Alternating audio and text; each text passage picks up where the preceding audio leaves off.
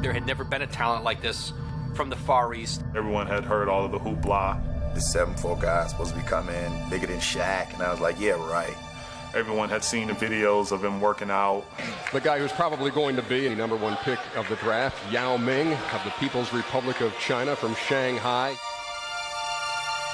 With the first pick in the 2002 NBA draft, the Houston Rockets select Yao Ming from Shanghai, China.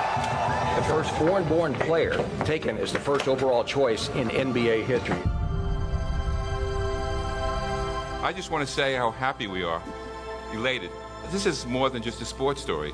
This will bring both countries closer together. It's going to be real exciting. We brought him here to Houston, and this is where he's going to be to play his NBA career. The day I arrived in Houston, the warm welcome I felt at the airport and the introduction, uh, Cuttino Mobley and uh, Steve Francis give me the jersey at the middle of the court is uh, something I, ne- I will never forget. Yao Ming, welcome to Houston! There was still a lot of mystery around him. When a player is so hyped and there's so much anticipation, people want to see, well, he isn't going to live up to that. We build up the matchup between these two guys. One is the present, one is the promise for the future of big men. Shaq, he's got it one-on-one, posting it up, turns, fakes, lane, shovels up. Blocked by Yao Ming again. Yao Ming the block and back we come the other way. Steve Francis on the dribble to Yao. He turns, puts it up and in. The Rockets are going to win the game.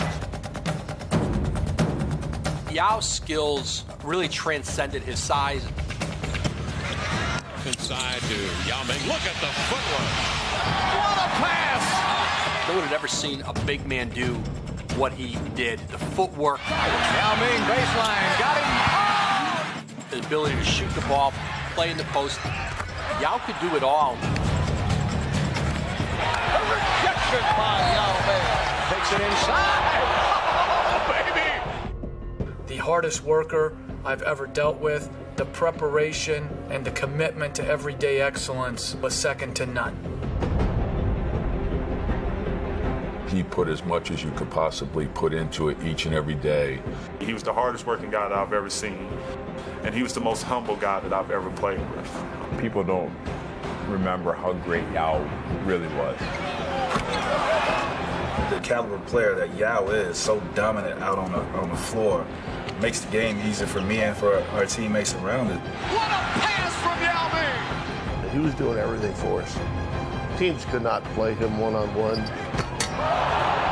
When Yao was playing at his highest level, there was nothing anybody could do to stop him.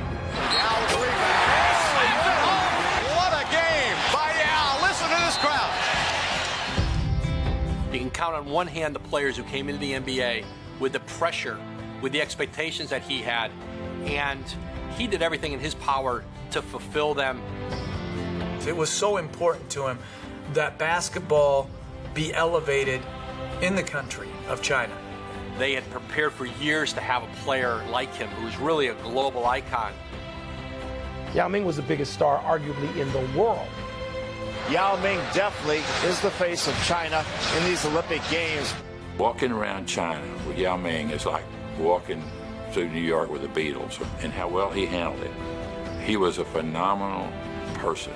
The way he went about his business, uh, there's no player I coached that I respected uh, more than Yao.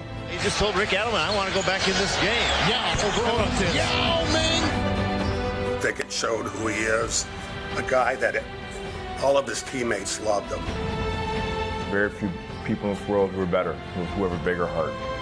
He's a great man, and I have such a high respect on him, on the thing that he was able to accomplish.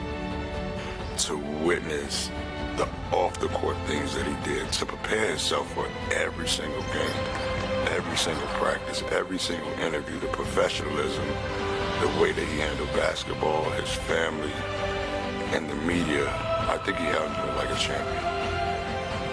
Celebrate him as a great person, player, and in fact he's in the Hall of Fame now. He's a difference maker in the whole world, which is great for the Rocket family, is great for China. Yao Ming's impact on really globalizing the NBA, it's really difficult to measure how important he was to basketball. He's one of the most important players of his generation. I consider Houston my second home, so I want to say something to the people of Houston. You stood by me in the good and bad times. You give me strength to move forward. I will always consider you my family. I'm a Houston Rockets for life.